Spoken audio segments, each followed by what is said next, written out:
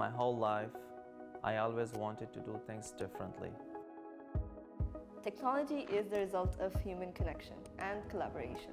Instead of one thought, it's everybody's thoughts that gives you one result.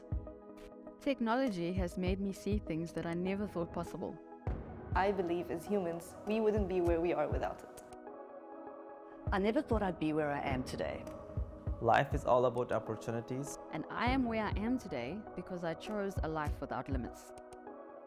This is my smarter story. This is my smarter story. This is my smarter story.